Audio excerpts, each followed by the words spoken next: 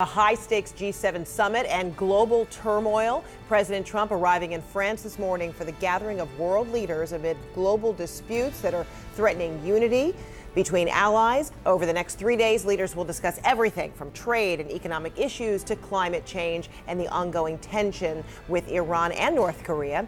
But before departing for the summit, President Trump set the stage for conflict by vowing to escalate a trade war with China and threatening to hit France with a tariff on wine.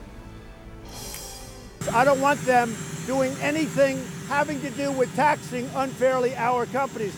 Those are great American companies, and frankly, I don't want France going out and taxing our companies. Very unfair. And if they do that, we'll be taxing their wine or doing something else. We'll be taxing their wine like they've never seen before.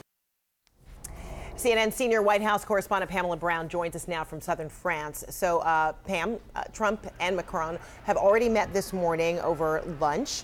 What more can you tell us uh, about any further discussions and maybe even a comment or two in response to what the president is talking about, threatening these tariffs on wine? Yeah, that's right. It's interesting because uh, just before leaving Washington, the president had those stern words for President Macron, uh, saying that he will impose a tariff on French wine and, and perhaps other French goods in response to the digital tax. Uh, but today, during the lunch between President Macron and President Trump, there was an exchange of pleasantries. The president seemed to put a positive spin on things, uh, calling Macron his friend. He didn't make mention of the digital tax at all, though he did sort of reference and hint at some of the disagreements that lie beneath the the surface on some of these key issues that the G7 is really all about. Uh, that would be, you know, a, a, climate change, on trade, on Iran. Uh, so we'll have to wait and see what came out of that lunch. But here's what the two leaders said at the very beginning. We look forward to it. We actually have a lot in common, Emmanuel and I. We've been friends for a long time. And every once in a while we go at it just a little bit, not very much, we get along very well. We have a very good relationship, sort of, I think I can say a special relationship. Uh, we all remember the Eiffel Tower dinner, and that was a very good beginning, and uh, uh, we have some really great things to talk about. We will discuss as well about the economic global situation, how to decrease tensions and, and, and fix the situation terms of uh, of trade exchanges because I think if we manage to fix the situation, seven of us, we fix a great part of the world.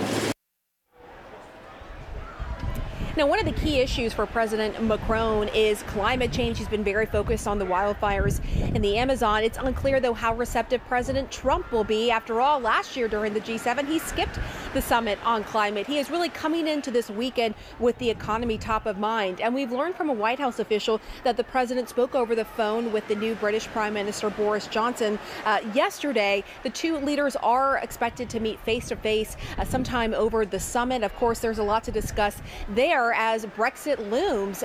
Boris Johnson is looking for the support from President Trump as it appears the UK is headed toward a no deal Brexit. Now, tomorrow morning, there is this economic summit that the president pushed for, and you can imagine that some of the G7 leaders will be bringing up uh, the trade war with China uh, that escalated just yesterday with both sides slapping tariffs on one another. Uh, some of these leaders here believe that the president's trade war is contributing to the um, overall global economic slowdown. And sources I've been speaking with about what to expect from this G7 summit. They're downplaying expectations, saying don't expect anything groundbreaking.